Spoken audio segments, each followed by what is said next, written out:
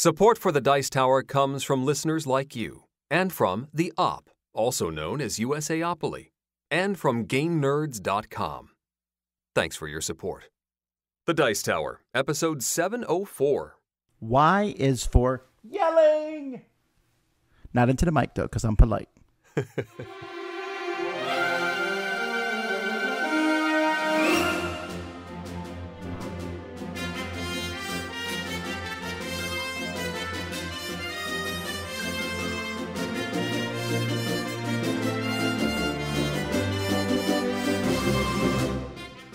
Welcome to the Dice Tower, a podcast about board games and card games, and especially the people who play them.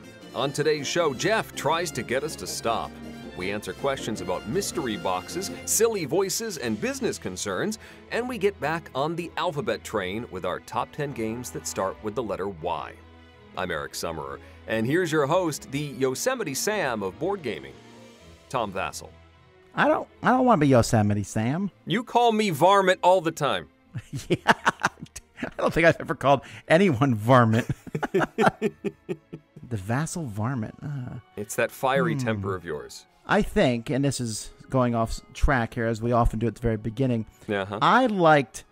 Was it called Back in Action? Oh, uh, the Looney Brendan Tunes back Fraser? in action. Yeah. Yes. I. First of all, I really liked that movie. I enjoyed it.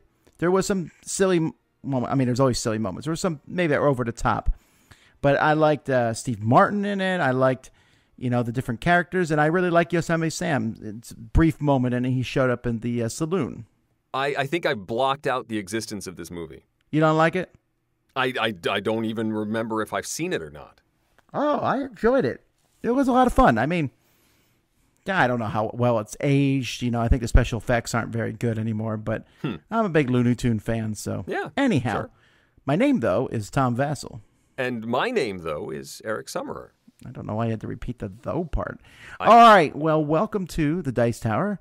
Um, today we have lots of things to talk about. I do want to mention that our Kickstarter is it's over now, but we do um, have our pledge manager running. So if you backed us on our Kickstarter, go fill out the pledge manager um, on GameFound as fast as you possibly can because I need to uh, order things. I have a sample puzzle. I believe by the time you hear this, I'll have it in my hands. Ooh, I was surprised, Eric, at the number of puzzles people wanted. interesting. Yeah, that seemed to be very, very popular during the campaign. It was incredibly more popular than I thought. So go figure. And I'm this actually is a jigsaw puzzle of the, the dice character image of, of all of the dice characters on a shelf. Really cool. I think it's a really good image for a puzzle. I, I understand why it's so popular. Sure, Tina does a fantastic job. And so I mention this, folks, because if you missed the Kickstarter and want to jump in, just go to Dicetowerkickstarter.com. If it at some point this week, we're going to redirect that to point to the pledge manager, so you'll be able to um, jump in if you want to. Speaking of jigsaw puzzles, I have a the, I got the newest exit game. Oh, the ones that include a jigsaw puzzle. I'm, I'm fascinated by these. Yeah, I haven't opened it up yet. Um, well, I got two, but I gave one to Z. He wanted the easier one, so I took the harder one. Uh, although I found that the exit games, to me, and this is maybe it's just me, I've always found them to be wildly inaccurate on how difficult they are. Yeah, I mean it's it's so hard to to scale these things because if some particular logic puzzle is just not in your wheelhouse or you're just not thinking in that direction, it can be to you much more difficult than uh, than it was to the designers.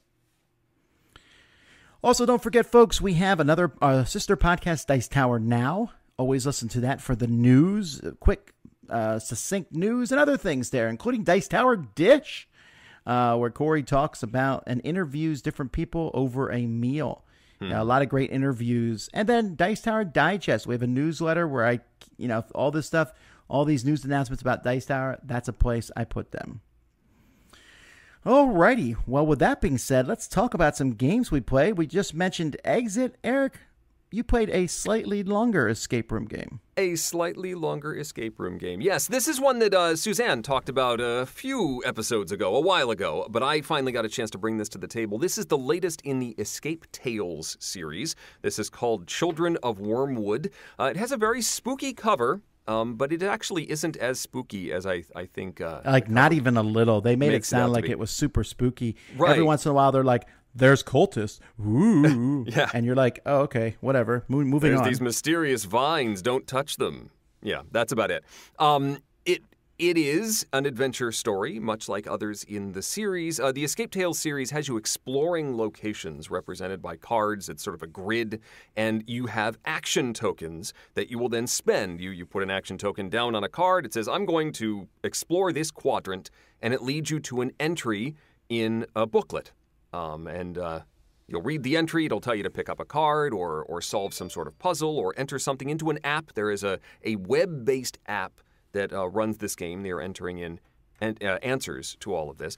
The story of Children of Wyrmwood is that you are an adventurer, and in fact, there is a uh, there's a character associated with you. You have an actual avatar.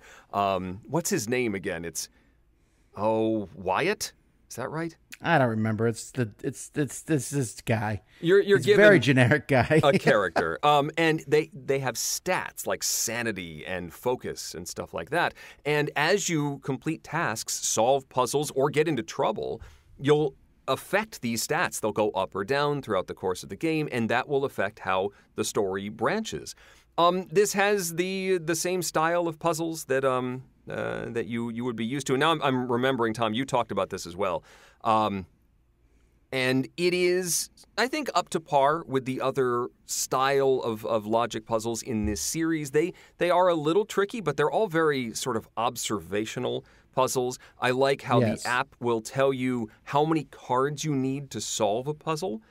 Um, there's no limit to the number of hints you can do here. You could go through all the hints, and there's no penalty whatsoever for doing so, um, which is great. I like that. Um, but the first thing it will do when you just load up the puzzle, it will say, "Here are the number of cards you need. You need four cards to solve this puzzle. And if you only have two, well, then you know you don't you can't do anything with it yet. So you keep exploring. Don't don't rack your brain trying to solve the puzzle. But you're combining items. You can combine items together and have um, your character look at an item by combining the two, and, and you'll sometimes get a clue or an observation, sometimes just a snarky comment. Um, ultimately, it all boils down to a whole bunch of endings.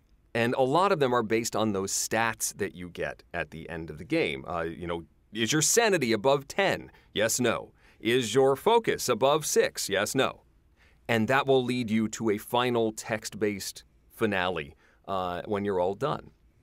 But then there's tons of other paths. You could have gone a different way, solved different puzzles, affected your stats, not beaten up the guards earlier in the game, all sorts of stuff.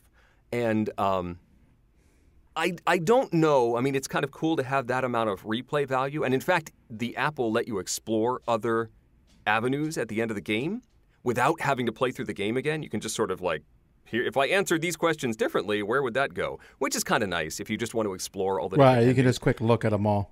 but to have it all sort of boil down to what are your numbers at the end of the game? I don't know. I would much rather have it be which puzzles did you solve, which I guess ultimately it is. But when it's stat based at the end and it's a numbers game, I don't know. It sort of left me a little dry.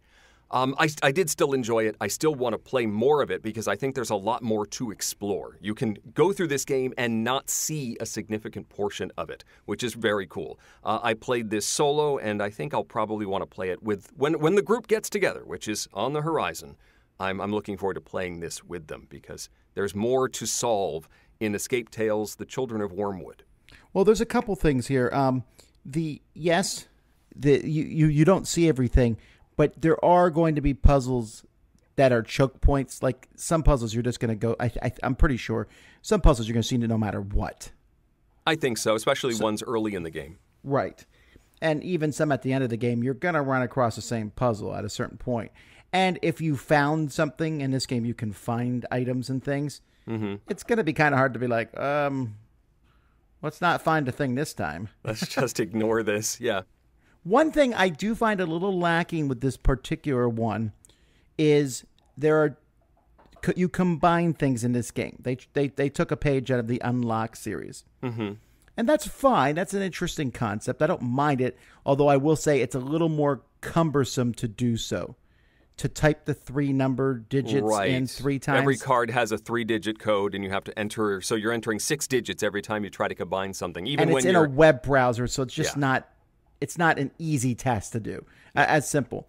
But if you get stuck on a puzzle, Eric mentioned there's lots of hints for that puzzle. There's no hints on what to combine with what. Hmm. So you could get stuck in that regard. I got stuck at some point, so I just brute forced it. I was like, all right, I got 15 items. I will Let's just start combine every things. item with every item. And then actually, there can be some negative effects if you do that. So keep an eye out on that. Yeah, be careful. But the other thing is, and this is, I'm, I'm trying not to spoil, but there's a pretty big game changing thing that happens in the third act. Yeah. And to do what you need to do in this, it's a fascinating thing that you're doing, but there's also no help in this regard either. Hmm. Yes. Okay. Do you understand what I'm talking about? That Yep. final thing. You can't look up a clue.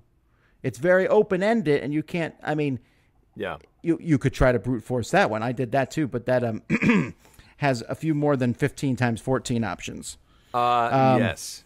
There is there's Um, so- some exploration, let's say, uh, in the final Yes. act, and and I think I think there is more. There are Easter eggs. I'm I'm There is uh, in that maybe, but I'll tell you what, I was I was disappointed that that wasn't as interesting as I thought it would be. okay. But either way, I still think it's good. I still think the first one's the best. It just has such a depressing theme. Uh, it's true. I really want I want to have a a light, happy theme. I would like bunnies and rainbows in the next Escape Tales. I don't know if that's be bunnies and rainbows. I wanna play we with my like kids. That that's what I'm saying. I like an adventure game, you know. My kids looked at the cover of this because it's it's a woman like lounging in a giant stone hand that is rising up out of the ground and covered with these evil vines. It doesn't look happy-go-lucky, and and so my kids saw the cover and they're like, "Nope, and not doing that." I wouldn't. I don't even. I don't know that the gameplay is necessarily even for kids, Eric. No, the puzzles are they're they're deep. They're, there's these are thinker puzzles for sure. All right. Well, uh, about six or seven. I don't know. Maybe it's eight months now. It's been a while. Walmart Yeah. decided to sell Marvel United, slightly ahead of the Kickstarters getting their copies. Slightly, it went over fine. Everyone was totally chill. about it. Nobody cared one whit. well, finally, finally, they delivered the Kickstarter. Here's the thing: they did deliver the Kickstarter in two waves. You get the, Yes. the base game and then all the extra stuff. So I got the base game from the Kickstarter months and months ago. I did The as well. base the base game comes with six heroes and three villains. Oh wait, there might be more than six heroes. Maybe it's eight. It might be eight. Uh, Yeah. it might be six. Though. Uh, yeah, I'd, I'd have to look at the box. But if you back the Kickstarter, you have 27 villains and 58 heroes. It's insane. It is so many little figurines. Eric, I played everything. Did what? I I did it with my kids a few times, but I sold the rest of it. I played every hero and every villain. I mm. played them all. I just got my box like earlier this week. How did you have time for this? You must have gotten it faster. Not not particularly faster. I got it Friday, Okay. and then Saturday I didn't have anything to do. So Oh my goodness. and also when you're playing solo, you can really turn these around. Yeah. They're not long games. We're talking 20, 30 minute games sometimes. Oh, Uh-huh. well, sometimes they're longer, sometimes they're shorter. My win loss percentage was about 50%. All right. It would have been higher if I had not been just playing random. By random, I mean I just grabbed, here's the next three heroes. I was playing three heroes at a time. Here's the next three heroes. Here's the next villain. And sometimes it's a villain who you should be using a lot more fighting power against. Right. And I didn't bring any heroes that did that. So that would happen. If I could pick my heroes for villains, I would say my win percentage would be around 70 because some of them are very hard. All right. Now, this week, if you go to our YouTube channel, I'm actually made a series of videos where I'm ranking all the heroes in my order from favorite to least favorite, and villains, same thing, and I'm reviewing all the expansions. But I will say this having this extra stuff really opens the game up a lot. Yes. I really like I like the original game, but it felt like I wanted some more variety. Having all these villains so much fun. Just the the Kickstarter extra box alone is insane. It's like two layers of figurines. Right. But outside that, I can just tell you right now, if I was going to get one expansion, I would get the Sinister Six for Spider Man. That's the one I didn't get. Oh, then don't watch my order of villains from favorite to least favorite. Actually, I didn't get the Sinister Six, and I didn't get the Thor pack. That that's the one. Those are the two. I was like, no, I'm spending too much on this already. I will yeah, pass. Don't look at my favorite heroes either. Then, um, I wanted Spider Pig. that was all I needed. No, Spider Pig is Spider Ham is is quite low on my hero list. But I want um, a John Mulaney figure. That's all I needed. Now, see, that's that's that that's a deep cut, Eric. You shouldn't allow stuff like that to affect your enjoyment of games. I really, I'm, I'm very excited to have a John Mulaney mig. No, that makes no sense. John Mulaney does not voice him while you're moving him around the board. Maybe not for you. Yeah, not for anyone. I don't think John Mulaney plays this game. Anyhow, um, I would recommend folks when you can get the expansions. Well, it's on Kickstarter right now, so if you have missed anything, you can. Oh, they're doing get it all. campaign. They, they said all that stuff. They're, they're doing the X Men version now. Mm. But all if you missed all the stuff from the last one, you can back that. I see. So, anyhow, it is a lot of fun. So if you don't know what we're talking about, folks, it's a cooperative. Marvel United is a cooperative game. Well, if you get the X Men version out right now, you can play one versus many. But um, it's a cooperative game where you can play one to four heroes against a villain. The heroes are different. They're not as different as you might think. They each have a 12 card deck with a, most of the time three special cards and then different stats on them. You will have the villain will play a card from their deck. You'll play a, three cards from heroes, and then the villain plays a card. And you just keep going till you defeat the villain, or the villain defeats you.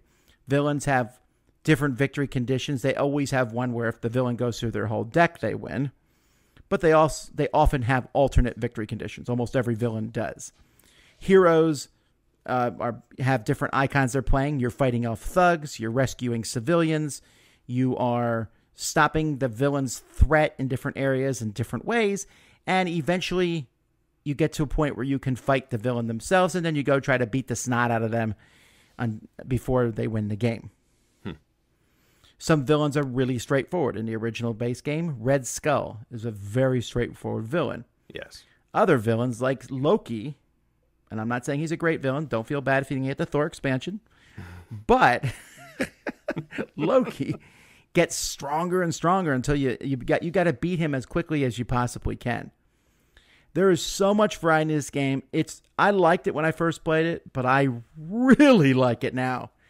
Uh, I mean, I'm a big Marvel fan anyway, but I I feel like I know the game pretty well at this point. Yeah. Uh, It's- yeah. It's currently my most played game of 2021. Um, uh, but I'm really enjoying it. It's a lot of fun. And I know I get it. You know, people say, oh, I didn't back it for all that Kickstarter stuff.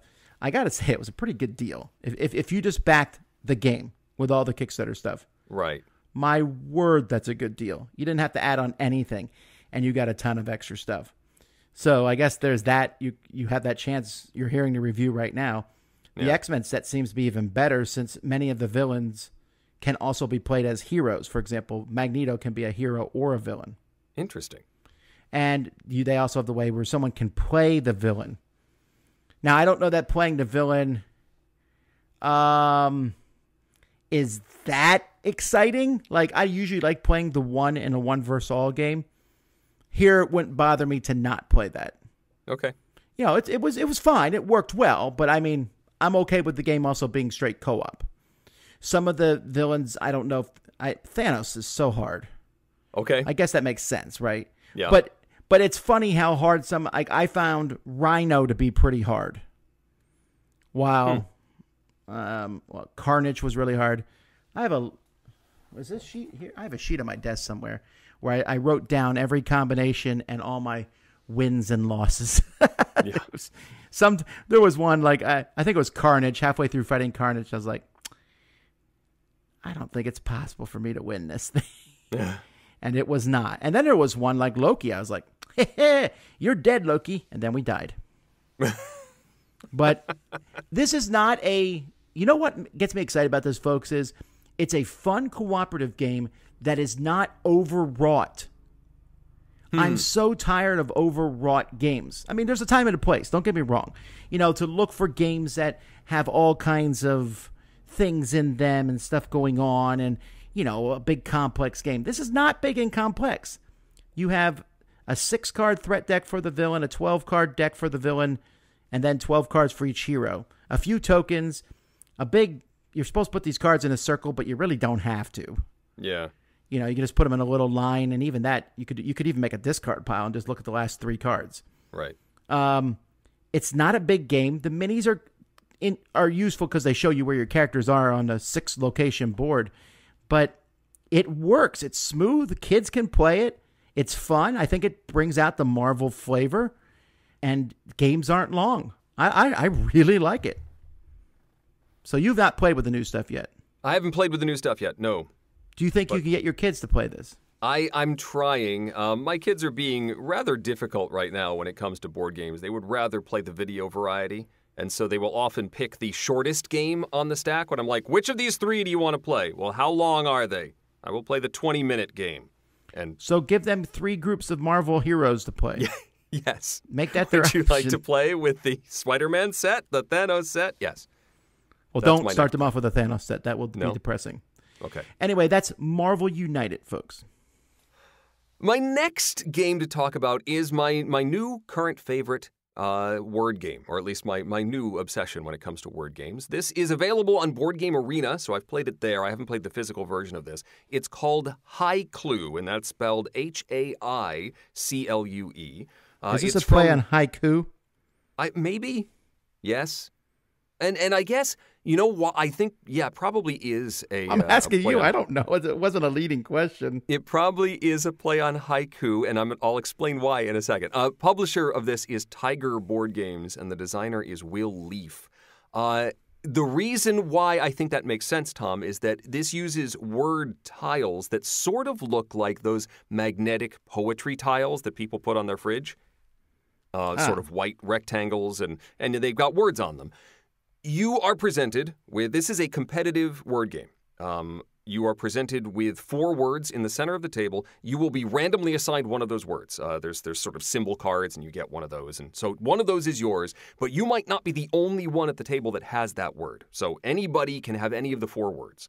You then have 15 of these word tiles in front of you, and you have to choose at least two of them to make a clue for the word that you have in the center of the board. Uh, and and you can combine them in interesting ways. So you can just put two words next to each other. That's a simple clue. But you could also put two there and then two below it. Sort of group them together in small phrases, um, and and use as many of the tiles as you want to make your clue. Then you reveal, and everybody then guesses uh, which of the four words they think each of the clues are. You get a point for everybody that guesses correctly for you, and you get a point for every one of your correct guesses. Pretty simple. Uh, and you play a number of rounds and see who earns the most points. What I like about it is it, it it's very simple, quick. It it moves uh, at a good pace, but it also has some very tricky decisions when you're presented with these 15 tiles. And sometimes none of the words that are in front of you are matching your word, or they match pretty well for your word, but they match even better for one of the other four. So, how do you get the clues to be arranged so that they preclude the the words you don't want them to guess, but lead you still toward the the uh, the word that you need to guess. Um, it has a little bit of a Codenames uh, feel to it, and you're trying to avoid certain words but keep people focused on one. Uh, I I really like it. Um, and the board game arena version allows you to play what's called turbo mode, and I fact in fact I recommend playing it that way if you you try it out, where you um everybody does all of the guesses in one go and then it's all revealed at once. If you play standard mode, everybody guesses on one word and then it gets revealed and then one word and it gets revealed. If you're playing turn based, it, it doesn't, it's not moving fast enough.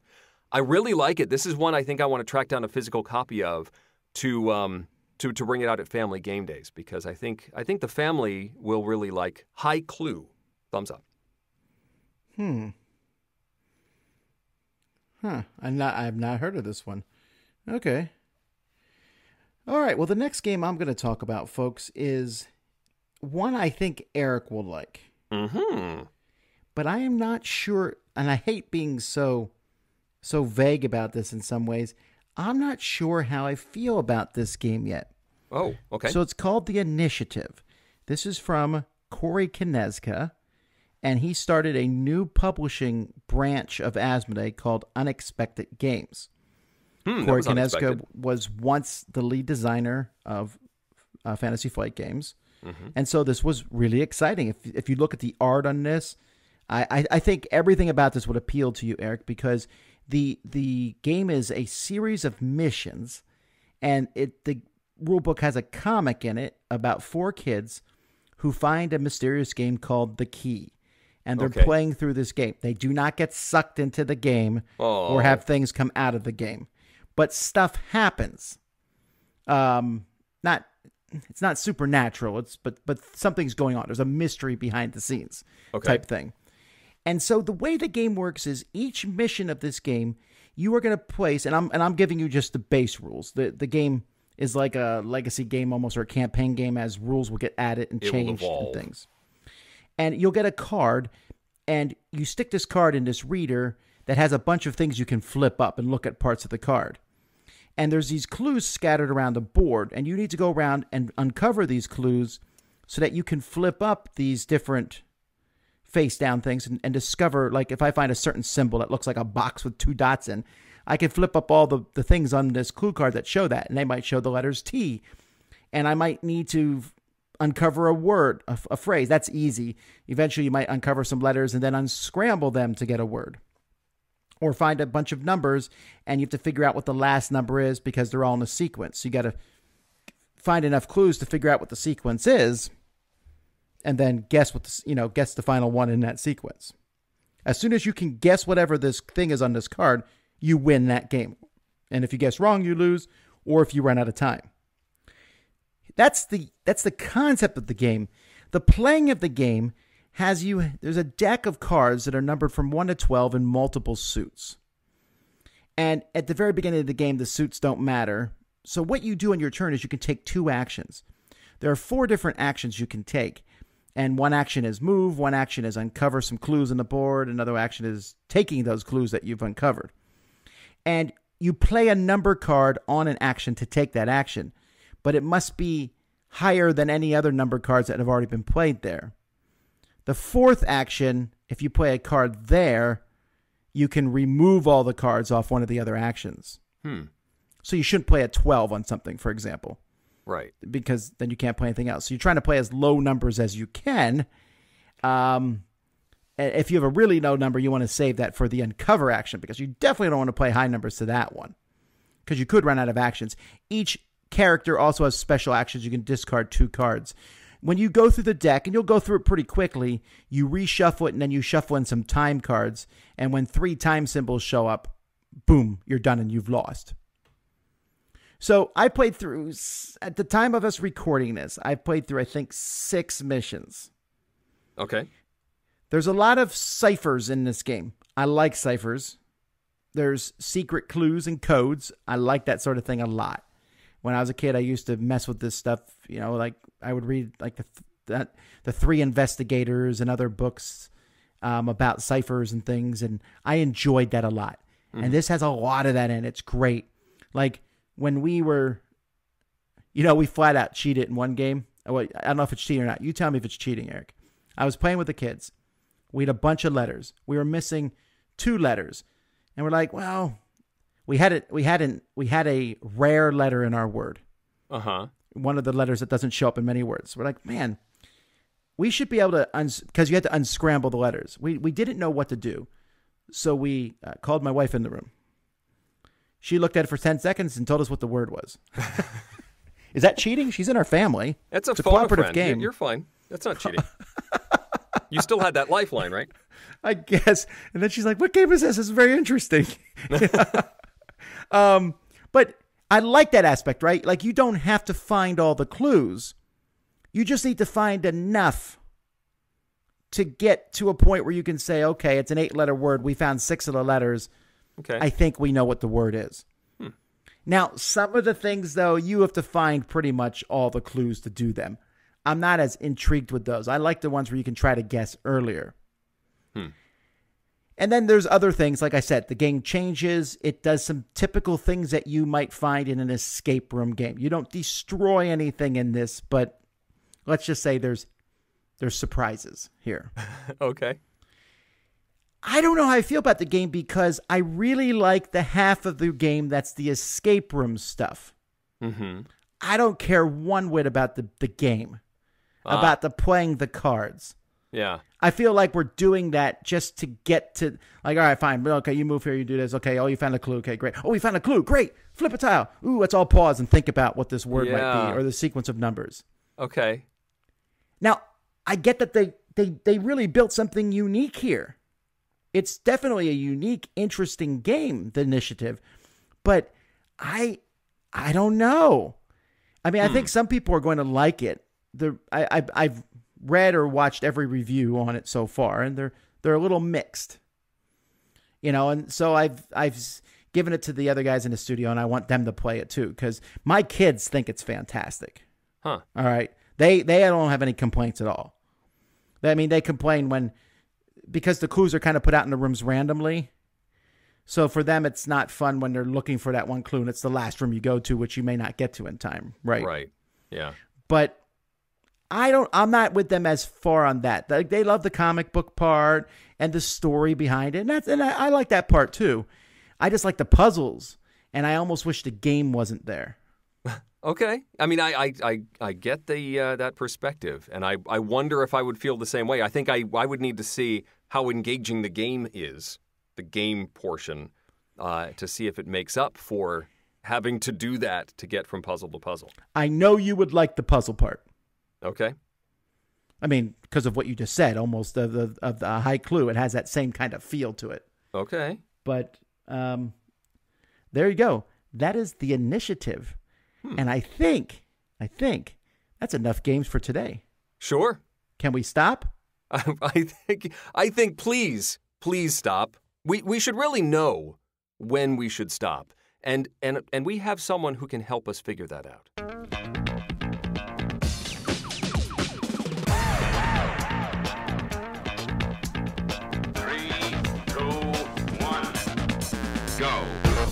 It's time for Game Tech with Geoff Engelstein, where we find out how games really work. As more and more people get vaccinated against COVID 19, there's a glimmer on the horizon that we will be able to resume game groups, local conventions, and the large national events like Gen Con and Dice Tower Con. It's been a long time, and for many of us, our conversational skills have become rusty. Or, for those of you like me, maybe they weren't that great to begin with. Well, fortunately, science has come to the rescue. A paper published in early March looked at how people talk to each other, specifically, how people stop talking to each other. And the research was performed by a team from Harvard, Wharton, and UVA. They performed two experiments. In the first, they asked 800 people about their most recent conversations, whether it was with a coworker, family member, or friend. They asked them a series of questions about it, mostly focusing on whether they wanted the conversation to end before it actually did, and how much before the real ending that was. In the second experiment, the researchers took 250 people and randomly split them into pairs. They then asked them to have a conversation about whatever they liked for how as long as they liked, from 1 to 45 minutes. They then asked the subjects when they would have liked the conversation to end and to make a guess about when their partner wanted it to end. So, what did they learn? First, the number of people that had a conversation where both said it ended when they wanted it to was really small, only 3%. About 30% ended when one person wanted it to end, but not the other. And in about 50% of the cases, half, both parties wanted the conversation to end sooner. Now, on the positive side, in about 30% of the cases, the conversation ended when one person wanted it to, but the other wanted it to go even longer. In about 10% of the cases, both participants wanted to talk longer, but stop sooner. So, most of the time, though, the conversations went on longer than both parties wanted, and usually by a lot. On average, people that wanted the conversation stopped sooner thought it should have been 50% shorter. It was twice as long as they wanted. In one sense, this isn't really surprising. We've all been in conversations we want out of, and some of the more self aware among us, myself included, have sometimes had a dawning and horrifying realization that the other person really is not interested in hearing about why you love board games. But in another sense, this is really surprising. I mean, talking with another human is something that we do all the time. We've been doing it since we first began talking. How is it possible that we are so bad at not knowing when to end a conversation? Now, it should be noted, of course, that the study was conducted with Americans. Do other cultures do a better or worse job at conversation? That's an interesting question for a follow up study as well. Researchers also speculate that this awkwardness in knowing when to stop a conversation may be part of the reason we like some structure to our social gatherings, like meeting a friend over coffee or a meal. Then we have a definite framework for when to wrap things up. Board games bring a similar structure to interaction. They guide what we're talking about and typically have a definite ending point. Some even constrain when and how we are allowed to communicate. Anyway, when you get back to having face to face conversations, the science says you should probably bail out sooner rather than later. And so I will take my cue and end here. Looking forward to seeing many of you in person soon. This is Geoff Engelstein with Game Tech. This is fascinating, Eric, because I feel like I'm I might be one of the people who's in the conversation and and the other person wants me to stop. Mm. I, I fear I fear that whenever like if anybody brings up board gaming or any other subject that I'm like really nerdy about, like somebody brought up the Muppets on Twitter. A friend brought up the Muppets and I, I like went off. I'm like, oh yeah, I talk about Muppets. I am ready, sir. And and I almost got this sort of whoa, oh, yes, interesting. Thank you. Okay, bye. Um so yes, I so I've sort of started looking for that glassy-eyed stare. I try and look for it as early as possible. Sure, but I think I think though that folks should think about how we should try to listen to other people. Mm. I'm certainly guilty of when I'm in a conversation with someone, even on the podcast, I'm listening to the other person, waiting for them to finish so I can say what I'm going to say next. Yes. We, we many people tend to do that. I was really discouraged when I first came back from Korea talking to people about Korea. Because someone would say, You were in Korea? And they would ask me a question, and I'd be like, Oh, wow. And then I realized two sentences that they were no longer interested. and people are not usually interested in things that they don't know anything about. So mm-hmm. I have tried to, and I'm not perfect at this by any means. If I meet someone and they say, "Oh, I do this, this, and this," I'm like, "Oh, I don't know anything about that. I don't even know if I care about that." But let me let them talk about that a bit, and uh, let me try to listen as hard as I can, because that will make them happy. Yeah. I think you could also, uh, if you are the one telling the story, just, you know, kick it back more quickly. Yes, that is true. You yes, I, to... I, did spend. I spent a couple years in Korea. Have Have you ever traveled in Korea? Have you been there? And easily, and you know, send that back quicker. I also just try to when someone says to me, "Well, to make a long story short," well, even that's not very short. I'm like, "Oh no!" All righty, well, let's go from that to some horrificness. Oh, that comes soon. And now, another tale of board gaming horror. Oh my, that's horrific. Gather round, children. I recently had what I consider to be a horrific moment regarding Marvel Champions. I have all the content for the game and it had become clear that the base box and Red Skull is not the ideal storage solution for the game, so I started to look for suitable alternatives. I came across a miniature chest of drawers from IKEA. I bought two sets and took them home, only to find that the drawers didn't really work, as well they fit two rows of cards in each. My cards are sleeved and it meant they pushed up against each other, and putting them away easily was impossible. I took all of my cards out, packed up the drawers, and returned them to IKEA. I then found another solution that worked really well and began the process of transferring my cards to the new storage solution, only to find that I was missing a stack of cards. Specifically, all of the Rise of Red Skull villain decks and the once and future Kang scenario pack. After an extensive search of my house came up empty, a light bulb went off, and I remembered that combined in one of the drawers from IKEA, I had Rise of Red Skull villains and Once and Future Kang. So essentially, I had returned the drawers to IKEA with all of those cards, sleeved, packed tightly together, never to be seen again. I called IKEA, who had not either noticed nor documented the cards, so they are likely either in a bin or repackaged with the drawers, sitting in a shelf in IKEA or in someone's house who bought my returned set of drawers. My storage solution budget was then increased to include repurchasing both sets, which on the plus side now means I can go into battle with two Hawkeyes or Spider Women. two Hawkeyes or Spider Women!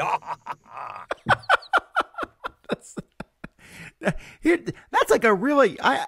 You know, I, was reading through this. I was like, eh, and I was like, but that actually is. You know, the flip side of this is that story. Like, this is like a tale of joy when you oh, if buy you a piece of furniture from thing- somebody. Yeah, and and, you this open guy, it, I don't and you're like- my card, so it was a perfect solution for me. And look, I got free expansions. Yeah, I, I think it makes it worse that, uh, that that you know that likely whoever ended up with them cares not a whit for them. They probably threw them away. They probably they're like, who? Oh golly, I don't want this. Toss them. They or they give it to their kids. Here, yeah, uh, here you go. Some stick on your stuff. bicycle. You like these? Yeah, put them in your bicycle. Do kids put cards in bicycles anymore? No, I think I, I doubt that I'd even no, not sleeved cards. That's for sure. No, but I mean, like, do kids put cards in bicycles to make it sound like a motorcycle? That was all. I did that all the time when I was a kid. You Put know, Gloomhaven cards in. we've got a bunch of Pokemon cards that aren't worth anything. All right.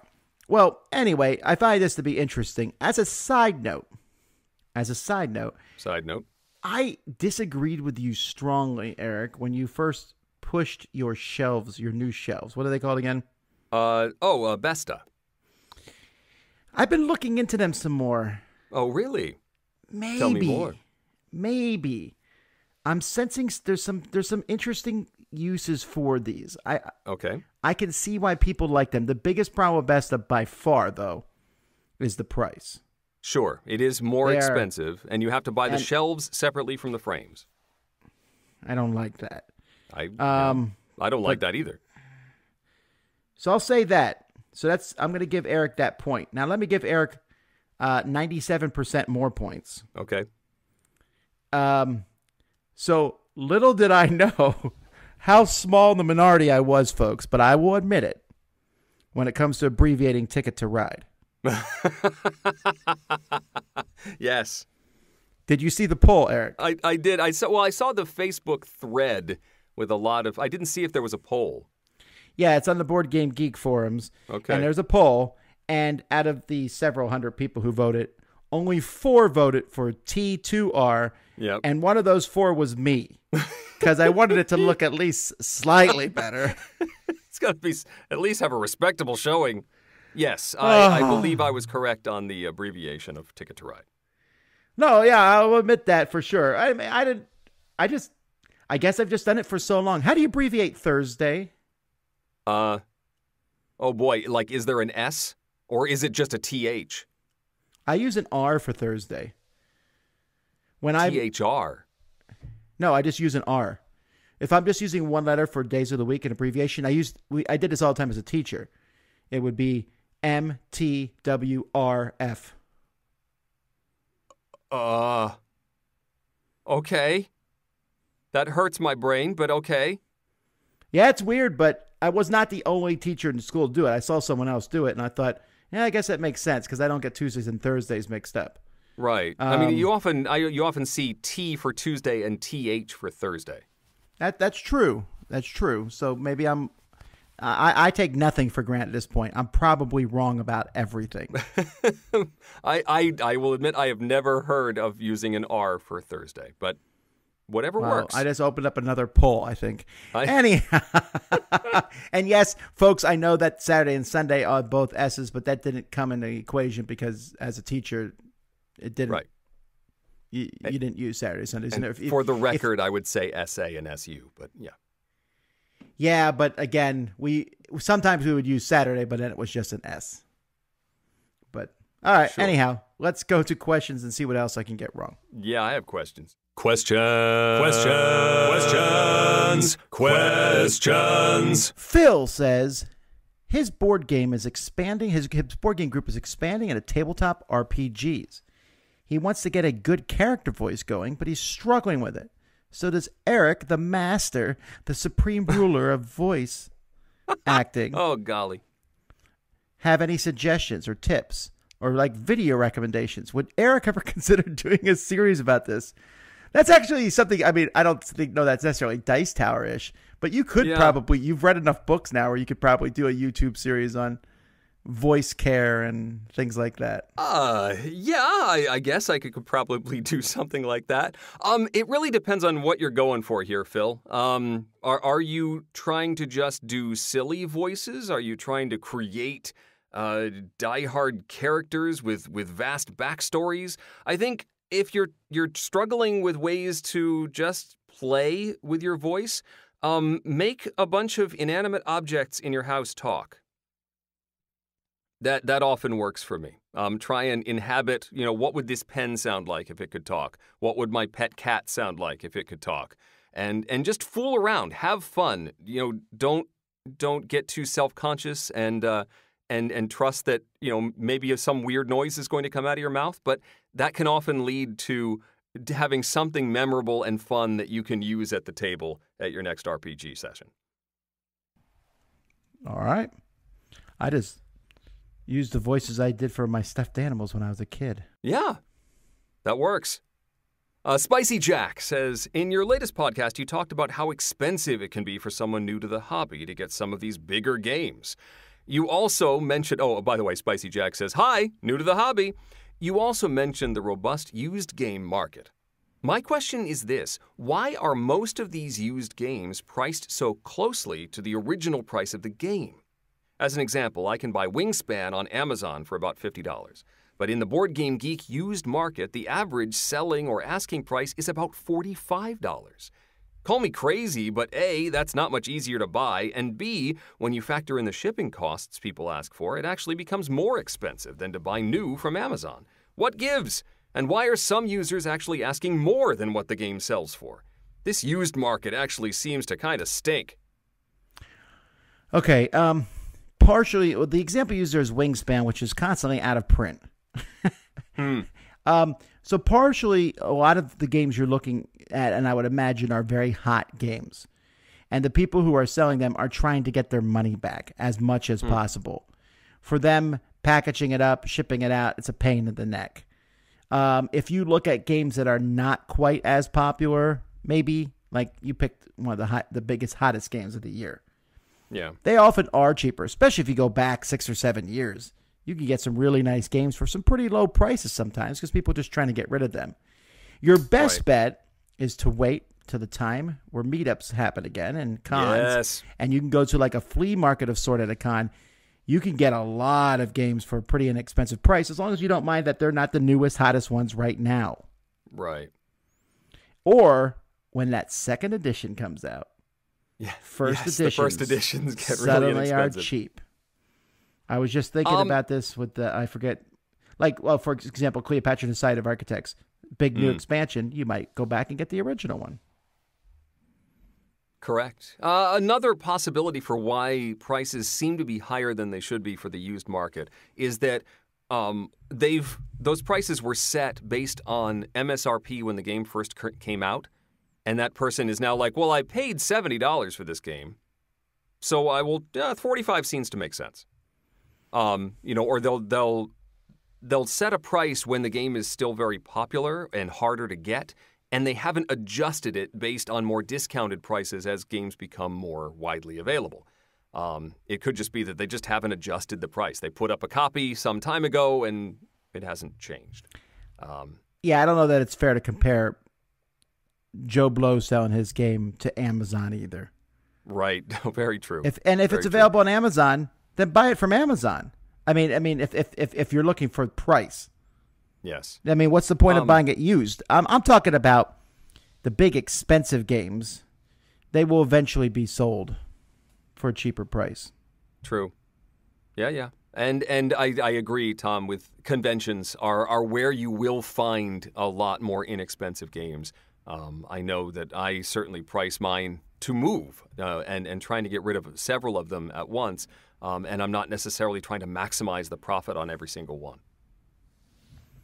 All right, Buddy from Arizona says, "What is our opinion of murder mystery games like Hunt a Killer, Murder Mystery in a Box, etc.?"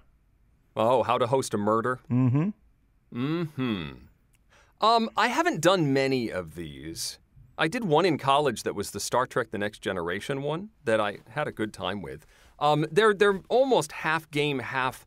Um, know, well, obviously it's a party. It's it's a social engagement more than a a solid game puzzle. It's not really designed for gamers. Um, it's designed for folks who want to have a fun themed party. Um, so I, I'm all for it. I think it's a great social, uh, you know, structure, and uh, like like Geoff said, it's an it's an excuse to get together and have a, a wacky evening or a mysterious evening of of mystery. Uh, so yeah, go for it. But I, I wouldn't necessarily, if I was going into one of these, I wouldn't be looking for. Well, all right, I am I've got all my ciphers ready. I am ready to find every little clue. It's much more of a social gathering thing. I I I don't know what it is. Maybe someone can explain it to me. I have a hard time getting over the fakeness of it. I I don't know how to explain it. If I go play a role playing game, I am playing a character, but I'm Tom Vasel the entire time. And I'll get into playing that role and stuff, but every once in a while I'll be like, I'm going to go get a drink of water. And I don't say that in my character's voice. I don't go uh, to the kitchen acting like that character. You know what I mean? I'm, I'm I'm playing that character in the game and I'm being silly. But to be the character the whole time, I have I have a hard time taking it seriously. And maybe once I did it, I could get into it. You know, I don't know, but that's always kind of put me off. It just it's almost a little embarrassing. I don't know how else to explain it. Yeah. So now that we've answered uh, that question that I totally derailed on my own, I'm, I'm looking back at Buddy's question. He's talking about the the murder mystery boxes that you see advertised on Facebook. Uh, to hunt a killer, Oh! murder mystery in a box, which so Those are different. Those are a totally separate games. thing. Those are That- escape those room are games, basically right. escape room games and more thematic, immersive escape room games, uh, where sometimes you'll get like an envelope in the mail once a week for a month or something, and it will have clues. I've never done one of these more immersive sets, so I, I don't really have an opinion on it. But I think if you're a fan of escape rooms or puzzle games, uh, like the exits or unlocks, then yeah, it's probably up your alley. But I can't comment on any of the specific I've systems. I've done one where we were chasing down a, a person, and I actually just had someone email me and asked me to review one, and I told them I just couldn't do it. It's just too much. Um, I I like a single and done shut case, and I don't want to. I mean, if it's a one and done thing, I'm fine. But uh, I, I, I, the ones that are continuing ongoing, I'm not as interested in. Also, and this might just be me, I'm not in that group of people who likes watching Law and Order SVU and then sit there like when I, I, I like watching Law and Order S, SVU after the first 10 minutes because usually they're describing some grisly murder yeah. or worse, you know, really depraved things. And sometimes that goes throughout the episode, and I'm like, oh, oh. And that's kind of where I'm at with some of these hunting a killer. I don't know that I want to, like, you found part of the person's finger. Like, oh, yeah, Yeah. I'm not real on board with that. Yeah. But that that's a me thing, right? I'm just not interested in that. Okay. Sorry for derailing. That was I. We answered a totally. We answered two questions, two for the price of one. Two for one. Christopher says, I was hoping you could take a moment to talk about the business side of the Dice Tower. I might be the only person actually interested in this, but I'm sure there's a lot of moving parts to manage. From conventions to fundraising to human resources to production, not to mention the pesky business of actually, you know, playing games. It seems like you'd all have to be pretty versatile. I guess my question is what the biggest surprise was for you, Tom, as a business owner who grew your game reviews in a forum to the multimedia company it is today. What were some lessons you had to learn the hard way? Any advice for people who are beginning to see their own companies ramp up? What are the things you dislike the most about running your company? Also, I personally would be interested in the logistics of the Dice Tower as a company. Do you contract out your administrative departments, accounting, legal, human resources, payroll, etc., to other companies, or hire part time staff to take care of it? It seems like you would be wading through a lot of paperwork and contracts almost every day, what with all the venues you're arranging, vendors you're working with, and sponsorships you have. Now let's get Finally- positive. Finally, these recent podcasts that look back 5, 10, 15, even 20 years ago had me thinking. The Dice Tower really seems like it has grown to the point that it might outlive Tom Vasel's working years. Has there been any thought about the legacy of the company in the long term? All right, I'll answer the last question first. Okay. I, I think about that sometimes, but I usually prep the dice tower a year or less ahead of time. So it's hard for me to think. When you say Tom Vasel's working years, you can just leave out the word working. Mm-hmm. You know, I mean, at some point I'll turn the dice tower over, but if something happened to me now, my wife knows who to give each part of the dice tower to. Ooh, we're splitting it up in like a divestiture situation? Well, no, like but it. like for example, you would be running the podcast. Ah. If I die tonight, folks, you know who did it. How would I do that? I'm. Anyway, I don't know how you do it. We were just talking about those murder mysteries. that's true. I haven't played any of those, so I don't know anything about it. Um, okay, so let's go back. There's a lot of questions he asked. I, I'm, I'm not going to get into everything here, folks, but here's some, some basic stuff that he asked. Um, the biggest surprise, like, um, I, I outgrew my game reviews and turned into a company. Yes, and there's a lot that goes on with that. He wanted to know, for example, what my what my least favorite thing, like the thing I dislike the most, straight up is paperwork. I hate paperwork. Oh yeah. I hate any aspect of paperwork. I've always hated paperwork, and there seems to be more and more of that all the time. Now, I do farm some things out. I have a payroll company. Payroll companies are not that expensive, mm-hmm. and they are so worth it because they handle all the taxes, they handle everything. But that Yes. doesn't preclude me from I still have to go in there and make sure it's working right and do this and change this and do that and and taxes, which is the worst part. Although a dear listener to Dice Tower offered their services this year, and I really, really appreciate that. They're my favorite person of the year so far, and that includes nice. my family. That's how important that was. I hate taxes, so that was a big thing. Um, other than that, most of the administrative part of the Dice Tower I run, with the exception of the Kickstarter. The Kickstarter is a huge undertaking, and so Kenny, his runs he he handles that for the most part. He handles the logistics.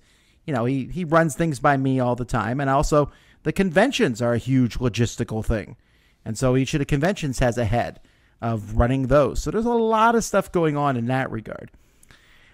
Um, lessons I learned the hard way. I it it takes it took us a long time, a long time to convince publishers to work with us in any way other than sending us a game.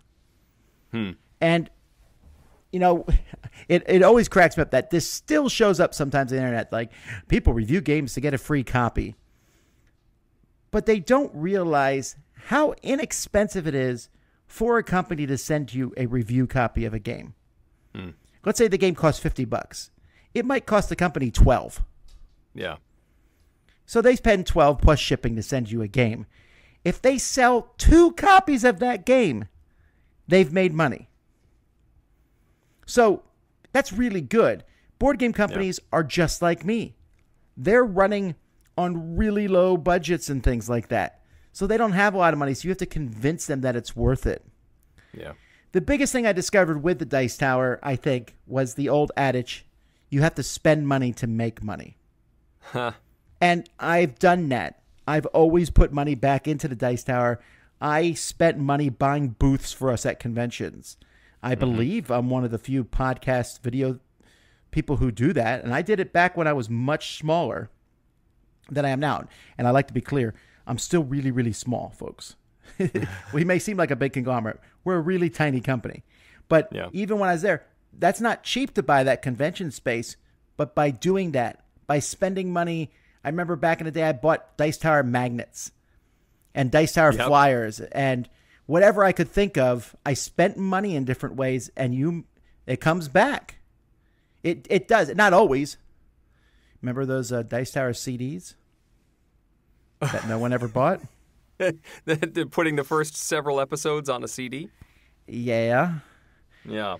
So yeah, there's things like that that you learn the hard way. Not everything works, but to me, the biggest thing I find is you need to let something go for a bit to see if it will work, and then you need to reevaluate if it's worth doing. Mm. Also, don't run things into the ground. Sometimes people go, "I miss you used to do this show." Yeah, but that show kind of got to where we were done with it. Yeah.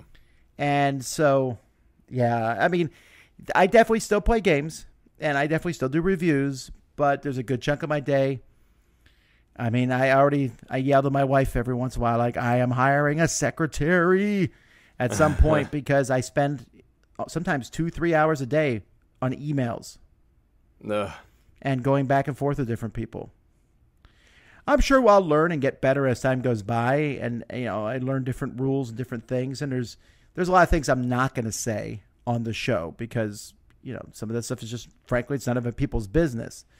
But it is something I think about consistently. I'm constantly looking at bank accounts and budgeting and taxes and accounting and all this mm-hmm. other stuff. It's not thrilling, you know, but No.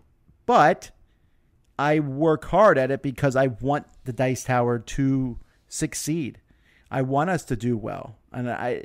It's no longer. It's not the a Dice Tower. The place it is now. It's not a thing I can just go, meh. I'll do something else. I could do that, but there are many people whose jobs depend on the Dice Tower now. Yeah. So that's my favorite party game.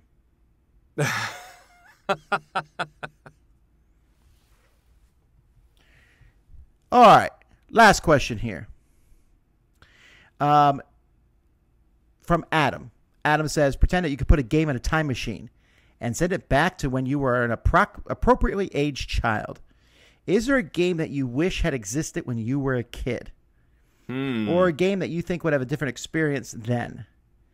Is there a game you would send to your younger self the same as a top game in your adult life? So he mentions.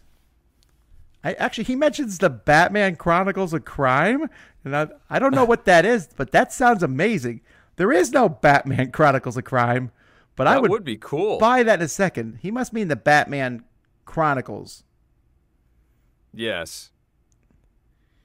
This is the Something tough like one. Uh, My my first thought was like Heroscape. Sure. because I know Well- some people were thinking that was when we were kids. Me and Eric are older now, so this was I was I was out of college when Heroscape came out.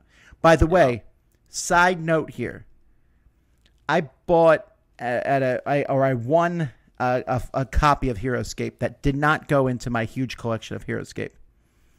And Yeah. I've been sitting on this for a long time here at the house. I don't know what to do with it. And the other day I was like, let's play this. I'll give it to Jimmy to mess with Ooh. you know so he was building some stuff with but you know what that plastic is no longer indestructible Oh. some it is starting to snap now some of those pieces Oh, like the terrain pieces. yes Oh. i know anyway uh heroscape would be one that marvel united game i'm playing Yeah, that would I was be, actually oh, thinking of that. word as a kid I, That would be awesome. I would even say Magic the Gathering. I didn't have that as a kid. It came out when I was in college.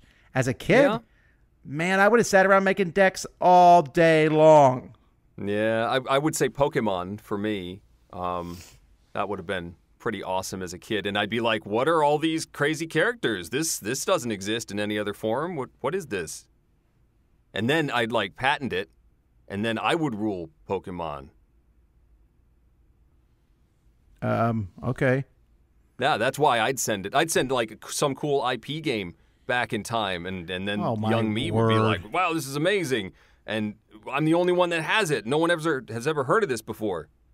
Yeah, that's that's my plan. Alrighty, folks, those are our questions. You got any good questions? Send them in to us, but let's keep moving. Support for the Dice Tower comes from The Op, presenting Scooby Doo Escape from the Haunted Mansion. a coded Chronicles game. It's time for a mystery, Scoob! Scooby Doo Escape from the Haunted Mansion brings the escape room experience to the table with Coded Chronicles. This thematic and immersive co op game takes the players through this new mystery with the gang as they solve the mystery at the Haunted Mansion. Designed by Sen-Foong Lim and Jay Cormier, this mystery is brand new to the Scooby Doo gang and feels just like an episode from the show. Each character has their own unique ability and narrative guide. You will definitely start talking like the characters in this game. Coded Chronicles is an at home escape room style game where players work together to unlock clues and solve puzzles. Each game offers a unique storyline and objective. Scooby Doo Escape from the Haunted Mansion is available now at theop.games or your local game store. It's a Dice Tower Top 10! The Dice Tower's Top 10 list is brought to you by Game Nerds at E GameNerdz.com. All right. Yeah, yeah, yeah, yeah, yeah. Yeah, yeah, yeah. Why? Why indeed, Tom? Why? Well, folks, we're almost at the end of the alphabet, but why is an interesting letter? We're going to talk about fewer game uh, games. I was surprised at this one. Yes, th- this was a trickier list than I thought it would be. There's a game that did not make my actually didn't make Eric's either. You must not have played that game. There's a game that's my number eleven, but don't worry, folks. It made the people's choice. So Oh, good. yeah, when you haven't heard it, you know what? There's nothing else to say here. Let's just get started and talk about sweet potatoes or yams or I don't know something. Let's get going.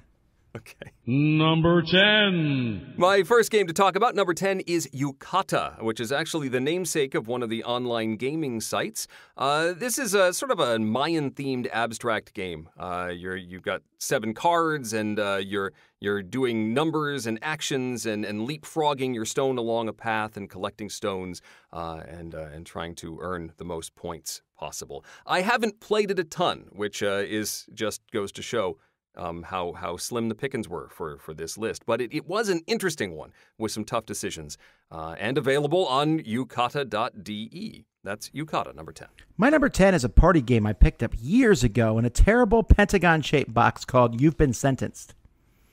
Um, you've been Pentagon sentenced. shaped box. Yeah, well, you know, at the time I thought it was kind of cool. Uh, shaping, sh- uh, shuffling pentagon shaped cards are, are awful. Anyhow, you just get a pile of cards that have a bunch of words on them and you have to make a sentence out of them. That's it. I mean, there's each word gives you points. And what's interesting is there will be five words on the card, so it might have run, ran, running, to run. You know, they'll have different versions. So making a sentence isn't as hard as it sounds. Um, and I found it to be amusing.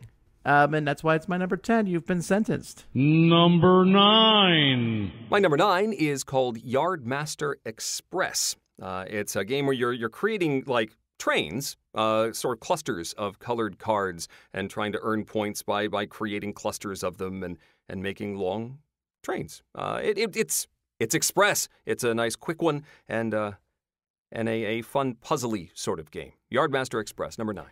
It is possible, folks, that some of you played this game and it's called Backyard Builder's Treehouse. Yes, I did. I was I was actually looking for what the newer version was called, and that is exactly what. There it is. I was looking on Board Game Geek, and Backyard Builder's Treehouse is right there. That's from Green Couch Games, I believe.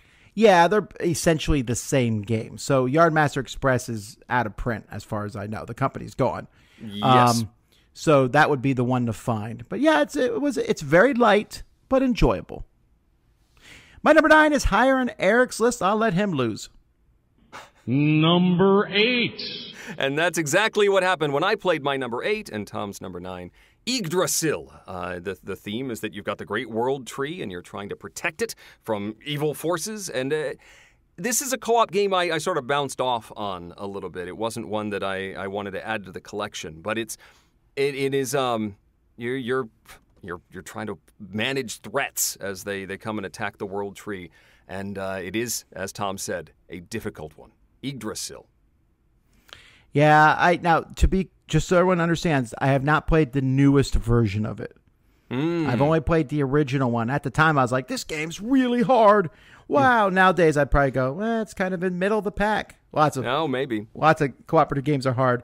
I like the theme of it. It was the Odin theme, but it wasn't Marvel. It was kind of more traditional, you know, straight up uh, mythological lore.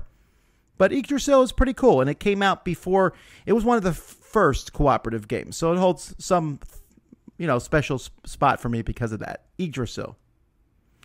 My number eight is higher on Eric's list because he got to the airport before me. Number seven. I was pretty sure that my number seven was going to show up farther along Tom's list, so I knew I wasn't going to have to talk about it. But it was possible that Tom was going to put it farther back just to mess with me because he thought I knew that I wasn't going to have to talk about it. But then he thought that I knew that he was going to put it back there, and so he decided to put it forward on his list so that I wouldn't have to talk about it just to mess with me. My number seven is Yedo. Yedo. Now, here's the thing. They actually came out with a new edition of Yedo. I've not played it yet. This is bugging me. I know that there's a new version. I never got a copy of it. Yedo is the gamer's version of Lords of Waterdeep. It takes place, and you send out workers to get weapons and get trained so that you can send uh, on missions. Very similar to Lords of Waterdeep, but there's some more, you know, the more things going on in it. I really like the game. There's a bit of some clunkiness about it, which I wonder if the new, updated, nicer, new version has fixed. So I really need to hunt that down. But I like the theme of it a lot. Like send out people on these ninja missions and get them all prepared, or samurai missions or whatever. It's really cool. A neat looking board. Yedo, Y E D O. I don't think I've played Yedo. Maybe don't- I. I don't know that you have either, but Yeah, I don't think so. Number six. Number six is Yspahan, uh, a game with, with. This was one of the first ones to use dice in unconventional ways, or at least in the Euro gaming field. And I was like, "Oh, it's a Euro game with dice, but it does it in weird ways." Um, you are you're claiming spaces uh, along a, a street, and uh, there's also camels that stretch along the street, and and you're drafting dice, and the more die results that show up uh, in a particular, you know, the more threes that show up, the more powerful that action is going to be. Um, and you're you're trying to manipulate, or not as much manipulate the dice, but ride the wave of what luck has dealt you in a particular round. Uh, Yspahan, number six, fun game. another game that's been reprinted. you can now, or of sorts, Corinth from Days of Wonder is a roll and write version of Yspahan, Right. which I'm told is quite similar. My number six, Eric stole it before I could get it, but that's okay. I'll get him next time. Number five. My number five was Tom's number eight. That is Yukon Airways, a, a fairly recent game, although time is weird. Uh, this debuted at a Essen 2019, so it's actually not that new. Uh, it is No, a- wait a minute. This came out during the quarantine. I remember that. I, I know I played. No, it came out at Essen 2019. They might have been demoing it there. Maybe. No, you could buy it there. Uh, Hey, future Eric here with, um, I guess, settling this debate. Uh, the game did come out in 2019, October 24th, 2019, which would have been during Spiel 2019. Just, I don't know. I, I guess I knew I was right, and I wanted to make sure you all knew too. Back to uh, past Eric and Tom. Anyway, um, it is a pick up and deliver game set in the Yukon territories. Uh, and uh, it's more than just pick up and deliver. It's sort of like route building, um, and it's got upgrading of your plane. It's it's a much more complex game than simply getting from point A to point B. Um, but it's uh, it's a rewarding one, and and the production is very cool with your dashboard and ways to upgrade it. I liked it a lot. It's my number five, Yukon Airways. Yeah, there's a lot of neat things about it. It has some interesting things. I I worry that the replayability might run out after a while, but just the picking the different upgrades will keep you occupied for a while in Yukon Airways. Eric put East Yspahan as his number six. My number five is shorter and more succinct. It's just Ys. There you go. YS. It's the same company. In fact, Ys was their first game. I think East Yspahan may have been their second. And for a while, they were trying to stick YS in every game they made. Yeah. They've since calmed down. It got it got a little convoluted.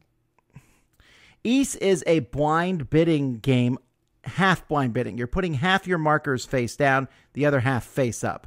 And then you're trying to get gems and buy and sell these gems. Uh, this one's a little higher on the list, if only because it has a lot of nostalgia for me. I like a lot of things this did, even if I haven't played it for probably a decade or so. I would like to see this one redone like Yspahan was. So that's Ys. Number 4. You know, for being an old game, Yahtzee doesn't get talked about a whole lot, but it's actually a pretty solid roll and write game. And the mechanism of the triple die roll and keeping the dice you want to keep has been implemented in tons of other games. But specifically for this list and for Tom's number six, as well as my number four, uh, we're talking about Yahtzee Free for All. I was surprised you picked this one.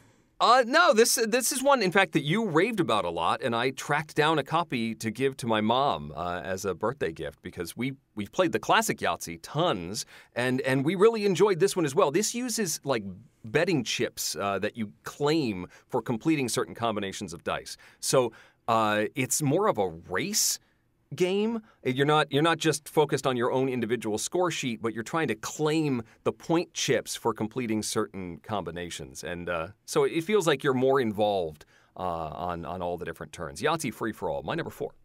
It's definitely more interactive too.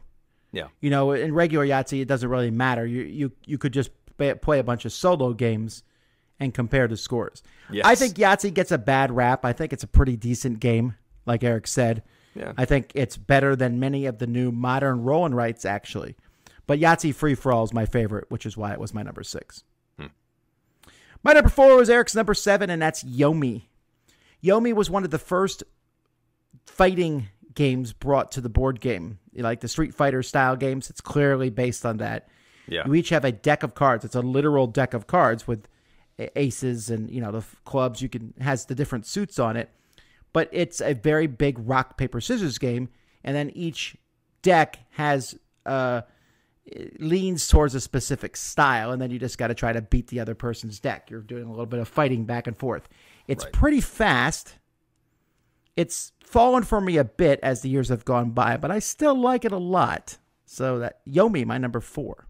Yes, uh, I mean I like the uh, it, it's the Yomi term specifically refers to the stuff I was alluding to earlier, where I think Tom's going to make a particular move. So do I counter that, or do I know that Tom's no, going to know that I countered that, and we go as many iterations as possible for that, uh, or maybe I just don't have a counter for what Tom's going to do, and so there's my decision right there. Right. Number 3. Number three is Yunnan for me. This is this is a worker placement game uh, that also involves Hunan? Yunnan. I see what you did there.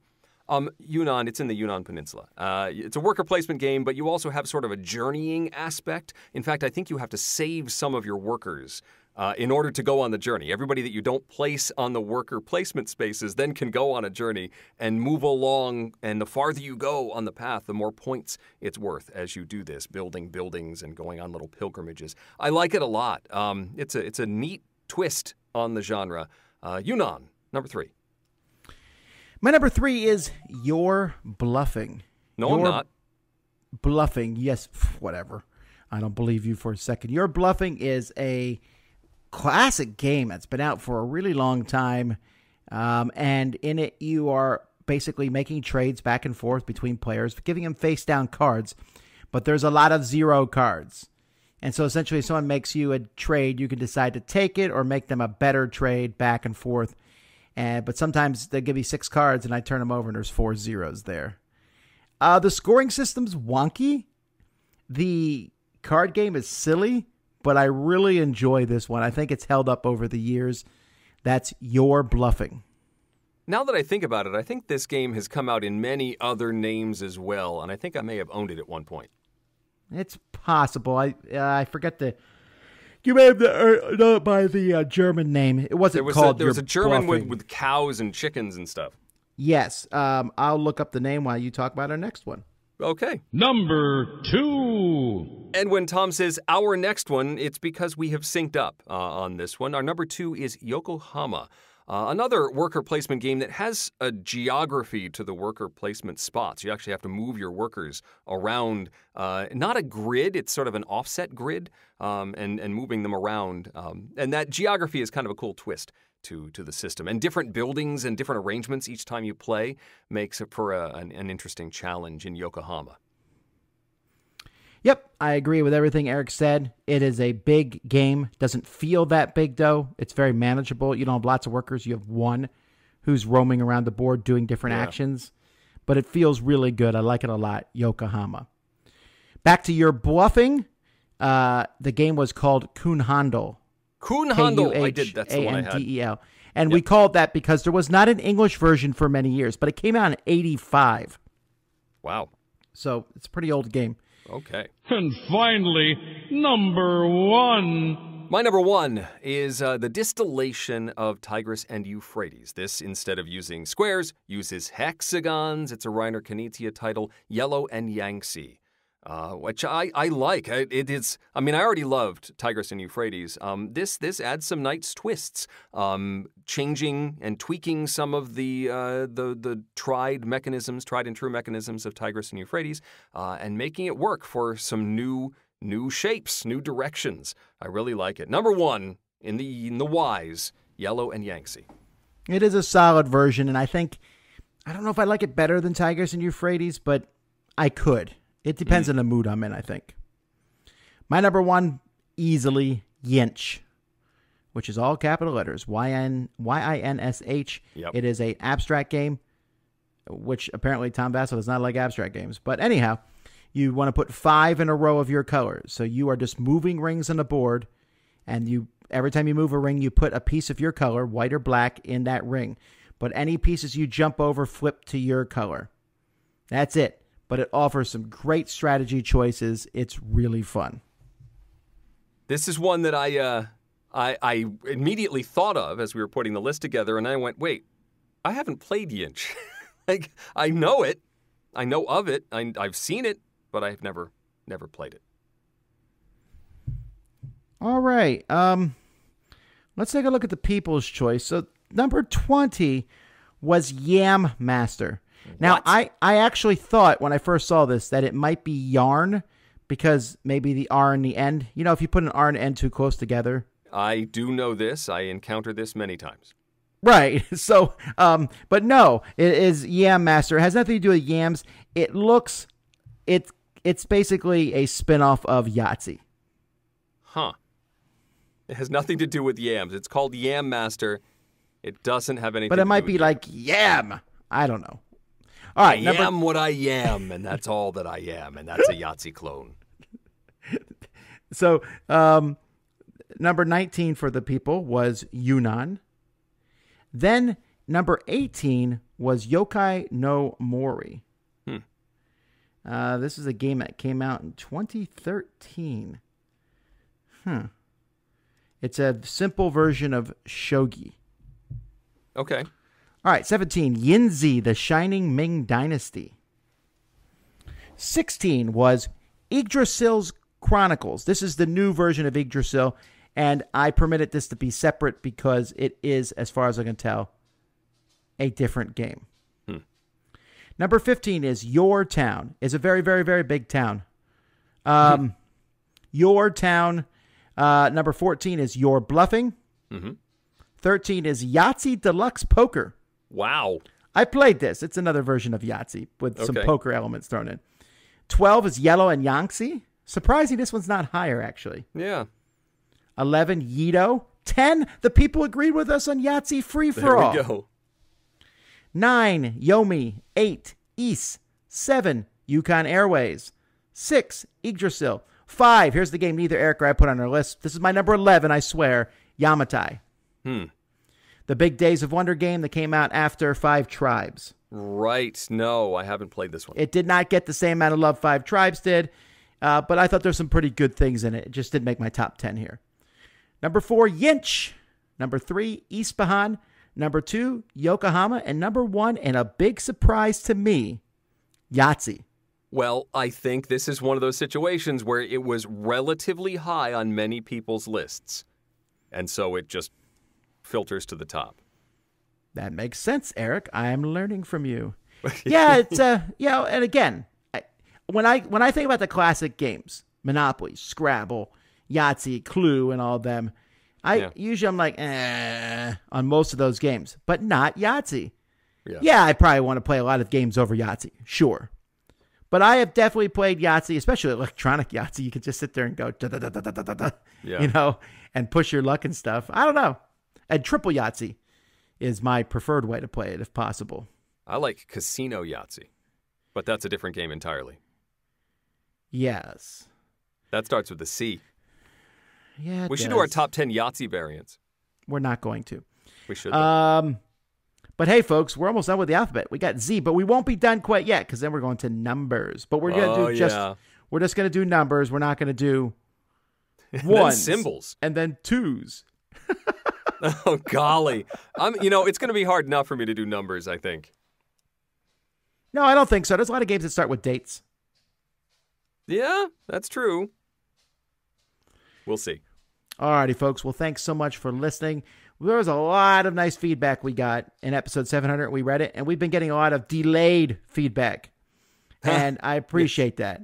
I appreciate the nice thread that people started in the forums. Um, and so we're constantly trying to work to make this better. I hope you, you know, I saw all the stuff about my sound. We're trying to make that better. Uh, forgive us. There's a lot of moving and things going on, but we'll get there. But hey, we made it to the 700s and we didn't stop.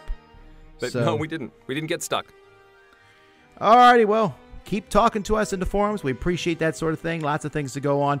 Until next time, I'm Tom Vasel, I'm Eric Summerer.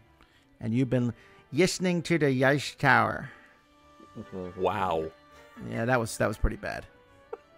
Thanks for listening. Promotional consideration has been provided by game publishers in the form of review copies of games. This episode, number 704, was recorded on April 1st, 2021. Tom joins Mandy and Suzanne for next week's show, and in two weeks, we go back 20 years with a look back at 2001. This podcast is sponsored by listeners like you. Thank you for your continued support. And speaking of support, the Jack Vasel Memorial Fund is dedicated to providing support to members of the board gaming community in their hour of need.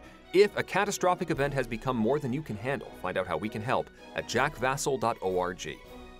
The Dice Tower is produced by Tom, Mandy, Suzanne, and Eric, with assistance from Rob Searing, Mike DeLisio, Roy Kennedy, and Chris Yee. Box shaped digits at the end of your feet provided by QB Toes. Timothy Pinkham composed our theme, and hosting is provided by Game Nerds, your all in one solution for all your nerdy needs at GameNerdz.com. Let us know what you think of the show by posting to the Dice Tower Guild at BoardGameGeek.com, following the Dice Tower on Twitter, or by emailing us at tom at Dicetower.com or eric at Dicetower.com. And don't forget to visit the other shows in the Dice Tower network, including Board Game Blitz, the Portal Gaming Podcast, The Family Gamers, Board Gamers Anonymous, The Broken Meeple, The Game Pit, and Dice Tower Tonight. Find your next favorite at Dicetowernetwork.com.